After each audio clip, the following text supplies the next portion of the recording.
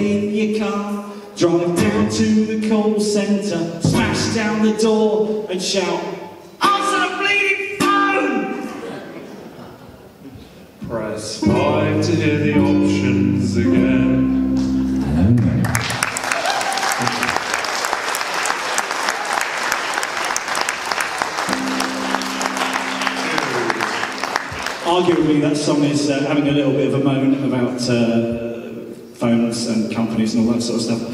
But it's good fun to have a moan about things, uh, and uh, this song is called Moaning with Pleasure. It's about exactly that. You're right there, you go. pedal, pedal problems. My pedal's fine. Good.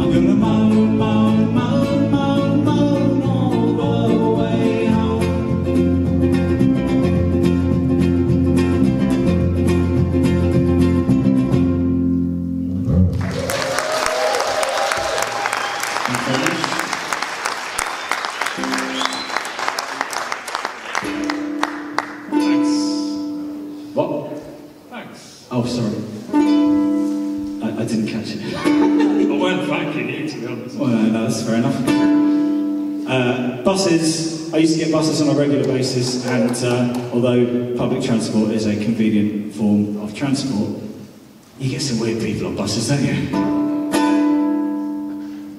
Maybe it was just me. It was weird. Good. Anyone here get a bus on a regular basis? no. Oh, this is the best audience ever. People who don't get buses. You're my kind of people. Higher caliber of people. Well, it's Margate for you, isn't it? It's, uh, it's posh around here.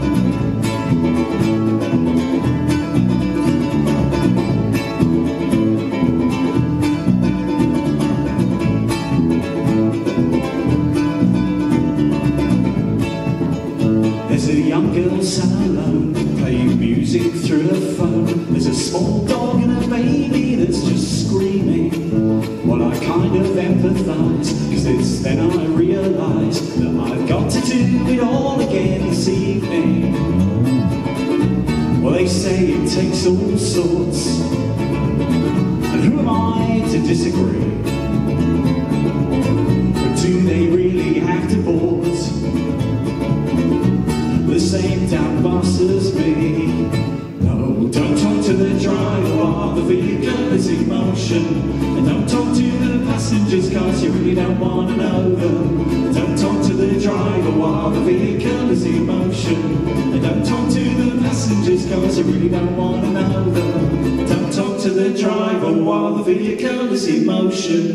Don't talk to the passengers cause you really don't want to know them.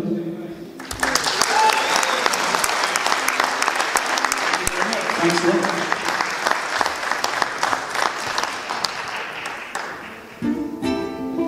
This is a brand new song. Uh, I usually say that before we play brand new songs because it's my get out clause for when I get all the words wrong and or the chords. For Effort and it's going to be on our forthcoming album that we're in the process of recording that may or may not be called How to Alienate Your Fan Base Part 7.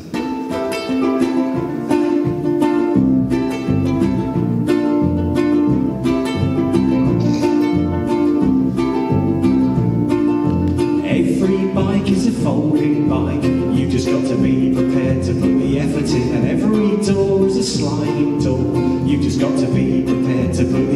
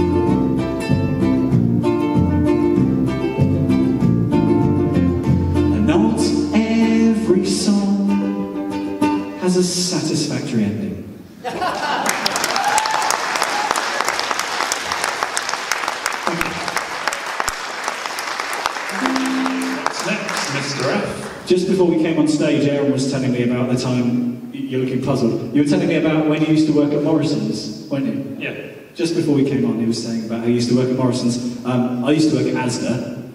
Um, we're not rivals in that respect, uh, but green waistcoats for the win. Um, this is a song about career aspirations that you might have when you're a tiny child. Because little children have ridiculous career aspirations, and they need it beating out of them.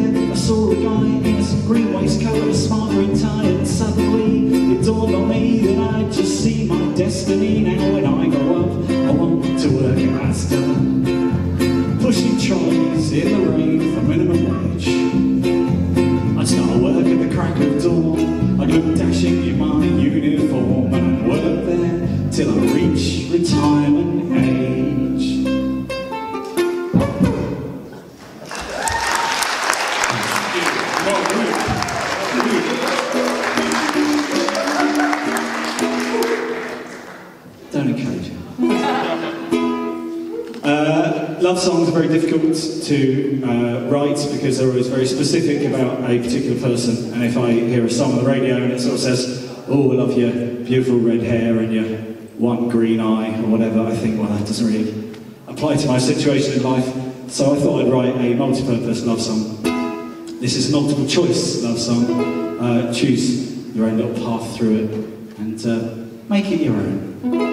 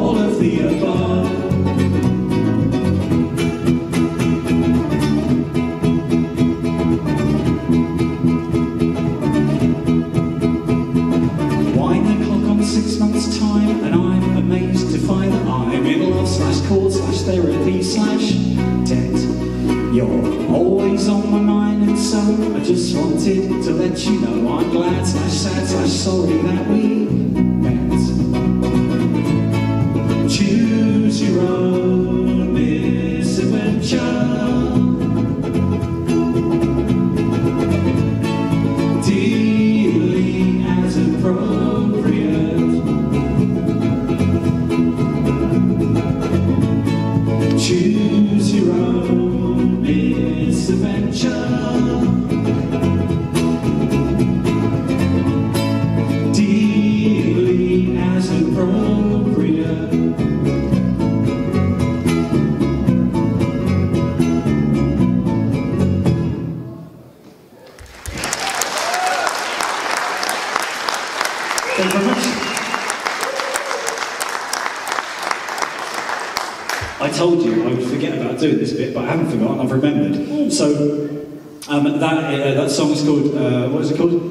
Appropriate, I think. Um, but it's off our album, which is called Choose Your Own Misadventure, and we've got a bunch of copies of it uh, for sale. But because we're fed up with the damn thing, uh, you can have it half price. So normally it's a tenner, but we're selling it for a fiver. If you want to catch up with us afterwards and buy a copy of that, uh, we've also got uh, another EP, which is newer and arguably better, uh, which is also five quid, um, or two for a tenner. So uh, come and grab us afterwards if you want to hear those things in your car on the way home. Free stickers. Oh yeah. How'd you do that? I thought you lot didn't take buses and you want free stickers. I, don't, I mean, it's hard to work out. Isn't it? It's hard, you know, it's hard to get the measure of an audience, really. right. So, uh, this is a song that I wrote by stealing other people's lyrics. Uh, basically, I couldn't be bothered to write lyrics to this song, so I just sort of cut and pasted a load of other people's lyrics from songs that you may or may not recognise. Hopefully, you do. If you recognise them, uh, write it down. Uh, you can do what you like with a bit of paper with writing on. I mean, obviously, I know where they're from, but you might want to write it down. Keep score. Keep scores. The one with the highest score at the end gets a free sticker. you love those stickers, don't you?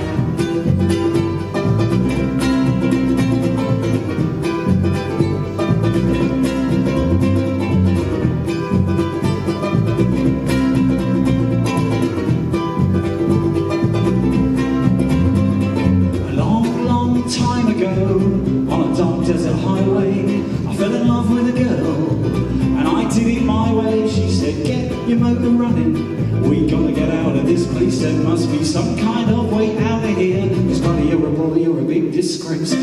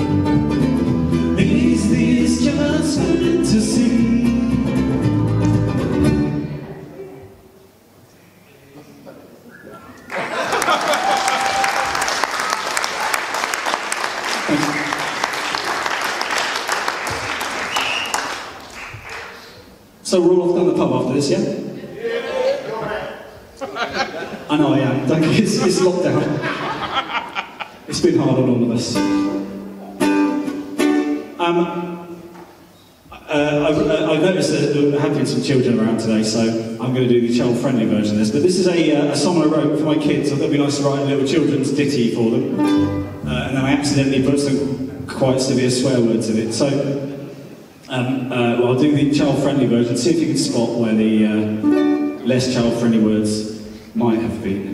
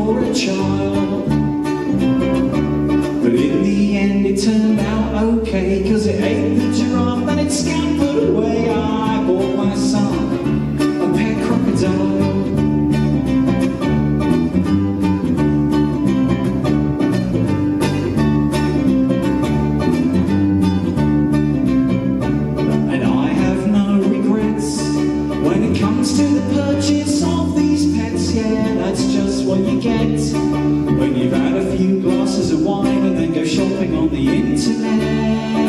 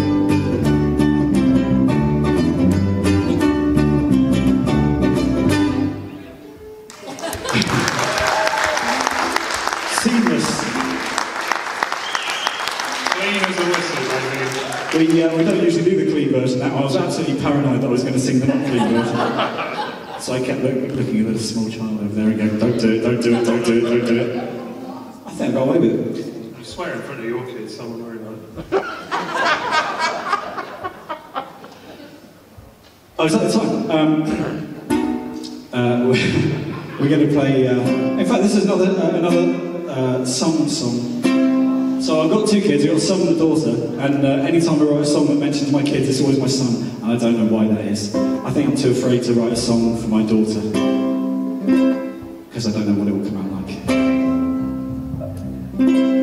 Yeah? Okay, this is uh, called A Father's Advice. My son, my son, the time has come for me to pass some words of wisdom on.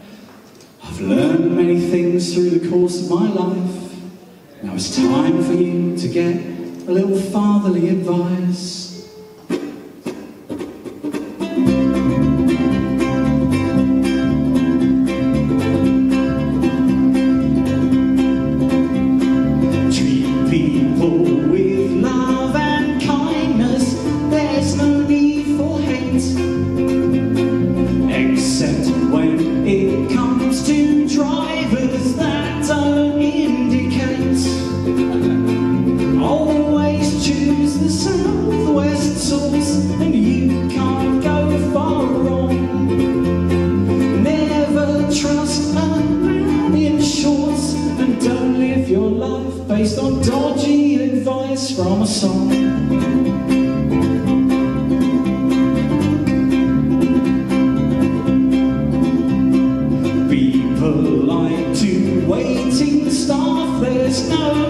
to be with.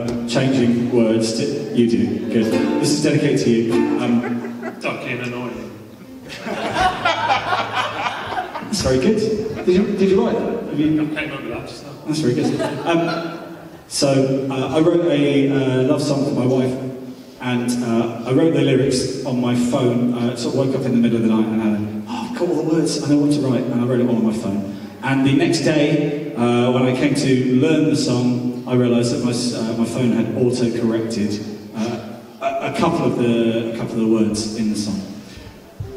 But I'm a very lazy man, so I learnt it anyway with the words exactly as my phone had. So this is a song called My Angle.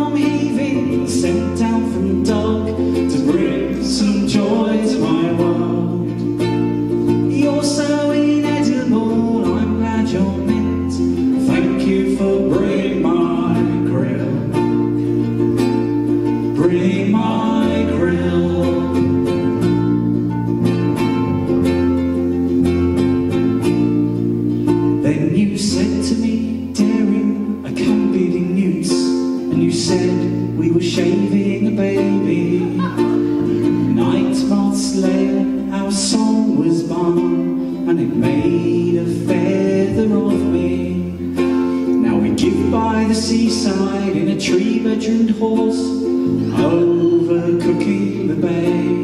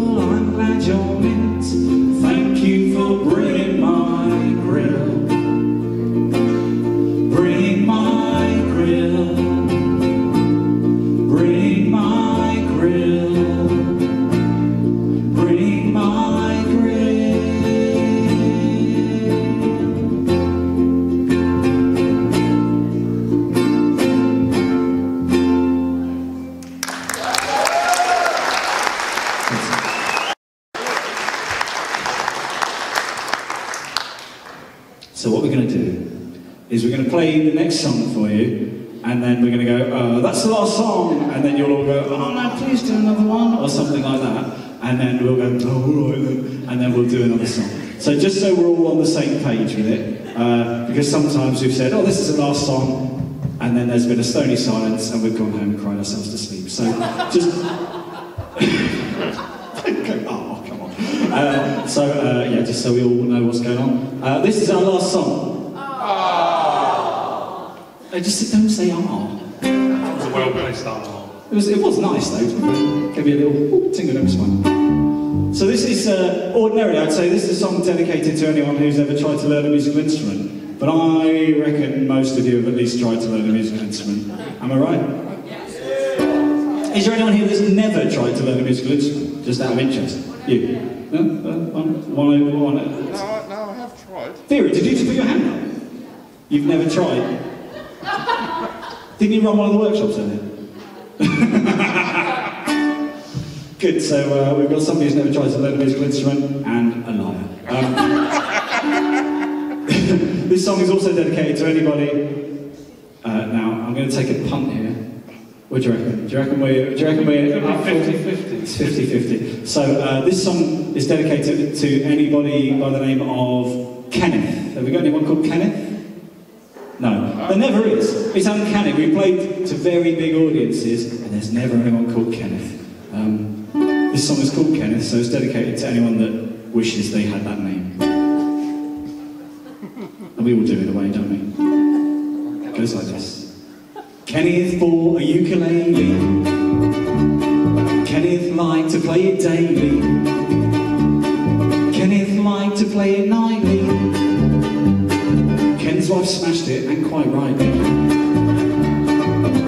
Well, that's just the way it goes. Should have seen it coming, I suppose. Well, that's just the way it goes. Should have seen it coming, I suppose. Kenneth thought he'd learn the kazoo. Quite a foolish thing to do. His wife reacted like you think she would do. Now Kenneth's got a smashed kazoo too. Well, that's just the way it goes. Should have seen it coming, I suppose. Let's try. Well, that's just the way it goes.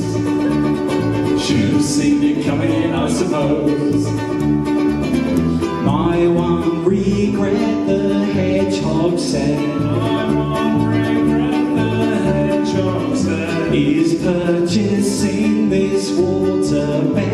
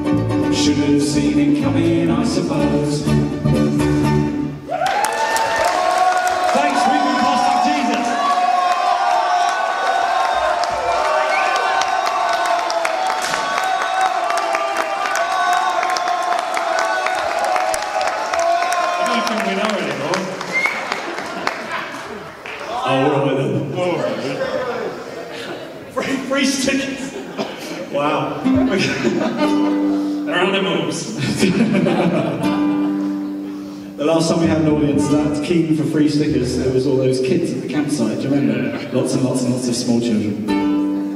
I don't think I managed to censor the uh, the Blue Whale song correctly that night. Um, so this is going to be our last song. Uh, thank you ever so much for having us. Thank you to the wonderful organisers of this amazing event. It's good, isn't it? It's been great. And thank you to the sound man all the people that were working on the bars and the door people and the security people that told us to get off the balcony when we were up there earlier and all of the people here who are wonderful. Um, this is uh, essentially a tongue twister. I thought it'd be funny. I thought it'd be funny to write a song that's basically a tongue twister, and then I realised that the only people that are ever going to be able to perform it is just me and him. Uh, so I'd like to apologise to Aaron for ever writing this song. Maybe someone will cover it. We'll see. Maybe, maybe there's a challenge for somebody. This is called Jamie's Tongue Twister. This is our last, actual, last song.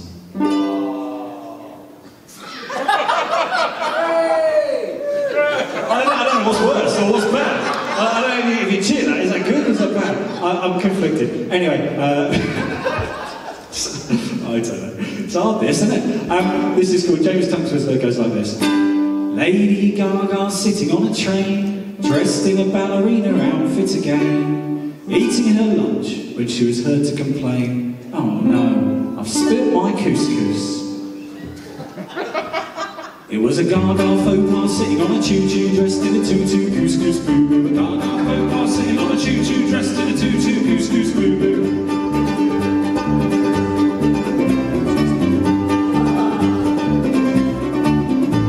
There's an oh, all-night takeaway near me. They got a table tennis table and karaoke. Thought I'd give it a go, so I did some Jay-Z. I was wearing my favourite beach shoes. It was a hip-hop sing-song dressed in my flip-flops down at the non-stop ping-pong chip shop. Hip-hop sing-song dressed in my flip-flops down at the non-stop ping-pong chip shop.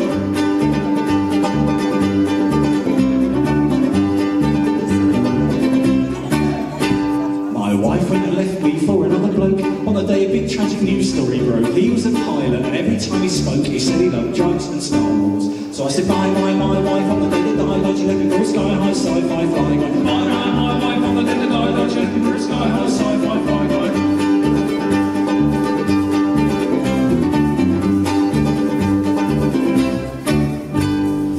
Now Jennifer Lopez is being served a drink by some sort of monkey, I think. He plays a little woodwind and he gives a little wink as he hands her a cup hot chocolate. Now he's not very good at playing woodwind, but he tries, and that's what counts. So, that is J-Lo's Coco Surf by a bonobo playing her a so-so, oh solo. J-Lo's Coco Surf by a bonobo playing her a so-so, oh solo. It was a Gaga faux pas sitting on a choo-choo dressed in a tutu, couscous boo boo. Gaga faux pas sitting on a choo-choo dressed in a tutu, couscous boo boo. A hip-hop sing-song dressed in my flip-flops down